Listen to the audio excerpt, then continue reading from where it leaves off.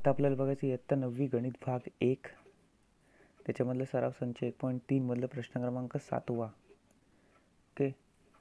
लास्टचा प्रश्न क्रमांक सातवा. तर तो काय दिला आहे वर्गातील सर्व विद्यार्थ्यांचा संच हा विश्वसंच मानू. ओके? गणितात पन्नास टक्के किंवा त्यापेक्षा अधिक गुण मिळवणाऱ्या विद्यार्थ्यांचा संच ए मानला तर. एचा पूरक संच लिहा.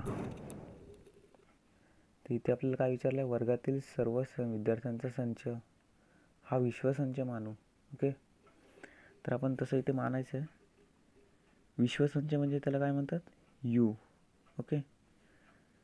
यू बरोबर. इथे आपण लिहूनच घेऊया इथे. वर्गातील सर्व विद्यार्थ्यांचा संच. वर्गातील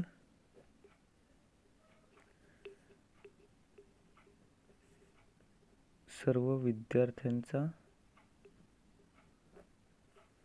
संच ओके? हा काय विश्वसंच मानलेला आहे आपण. आता दुसरं काय विचारलं आहे गणितात पन्नास टक्के किंवा त्यापेक्षा अधिक गुण मिळवणाऱ्या विद्यार्थ्यांचा संच ए मानला.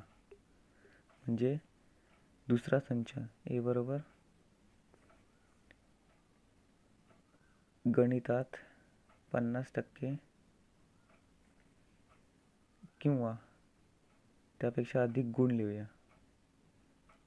त्यापेक्षा अधिक गुण.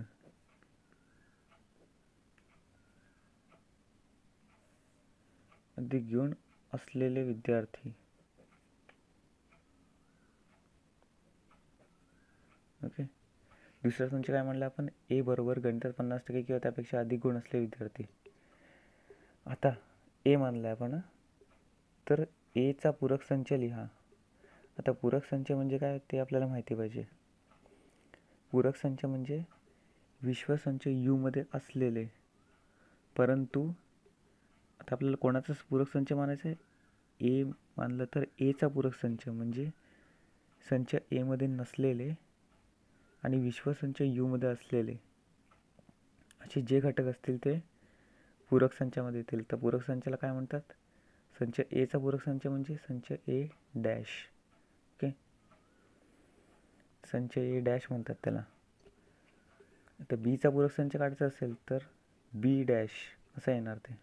ह्याला काय म्हणतात? पूरक संच. संच एचा पूरक संच. ओके तर संच एमध्ये नसलेले म्हणजे कोणते?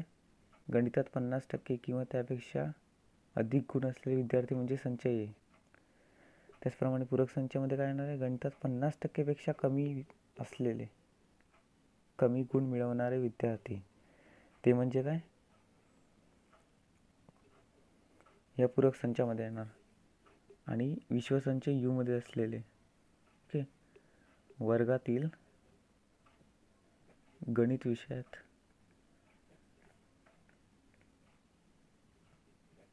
पन्नास टक्केपेक्षा कमी.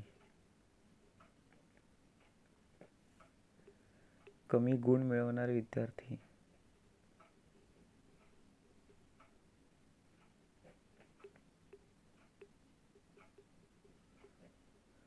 ते कोणामध्ये येणार आहे?